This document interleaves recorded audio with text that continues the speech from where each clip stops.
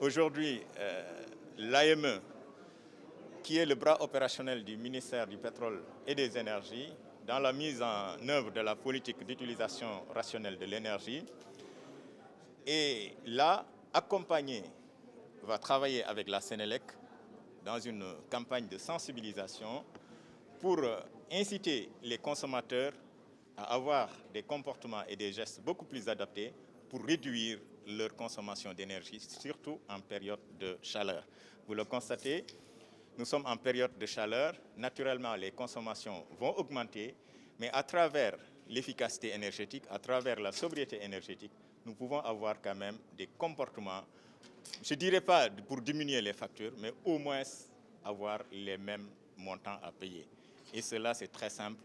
À travers cette campagne, si nous faisons quand même euh, une synergie des compétences qui sont au niveau de la Sénélec et au niveau de l'AME, à travers aussi l'accompagnement que je vois sur l'engagement des associations de consommateurs, nous allons arriver à pouvoir accompagner euh, les consommateurs pour une utilisation rationnelle de l'énergie. Je pense qu'au-delà même d'être un facteur clé pour la croissance économique, c'est aussi un moyen de lutter contre euh, la précarité sociale et les inégalités.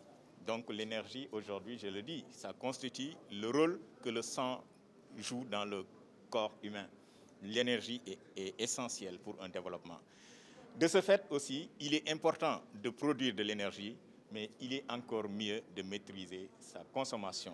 Et cela va permettre à l'État du Sénégal aujourd'hui non seulement de réduire euh, le budget, mais aussi d'atteindre rapidement le projet qui est fixé par son Excellence Monsieur le Président de la République, qui est l'accès universel à l'électricité, à travers simplement le transfert des économies qui sont réalisées au niveau de Dakar dans les zones qui n'ont pas actuellement l'électricité. Donc c'est tout à fait tout normal que deux institutions, comme l'a rappelé Monsieur le Directeur Général, dotées d'une mission de service public se rencontrent. Aujourd'hui pour faire quoi? À côté des associations de consommateurs pour définir une nouvelle culture énergétique dans ce pays. Parce qu'il ne s'agit plus de dire qu'on en a suffisamment. Il ne s'agit plus de dire qu'on va en avoir suffisamment. C'est pour ça qu'on va consommer l'électricité n'importe comment et n'importe quand. Mais il s'agit de dire nous allons vers des lendemains meilleurs. Comment faire pour avoir les meilleurs comportements face à cette denrée que nous allons utiliser. C'est tout l'intérêt de cette nouvelle culture énergétique qu'ensemble, Sénélec, AME, Association de consommateurs, mais également vous, les amis de la presse, que nous allons définir ensemble, que nous allons adopter ensemble pour que l'électricité soit utilisée de façon plus efficace et plus efficiente, pour préserver l'environnement, pour préserver la santé, mais surtout pour permettre au Sénégal de réaliser des économies substantielles. Le docteur général l'a rappelé tout à l'heure, nous sommes en période de pointe et c'est la première fois que vous voyez quelqu'un qui vend, mais qui dit quand même utiliser ce que je vous vends de façon efficace.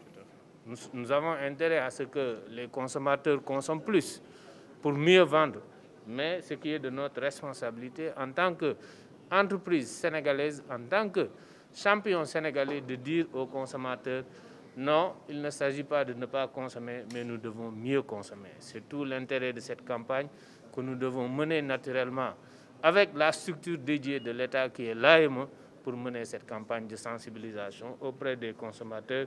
C'est pour ça que nous nous réjouissons aujourd'hui que tout le monde soit là, que tout le monde soit mobilisé pour la définition de cette nouvelle culture énergétique au Sénégal et pour les Sénégalais.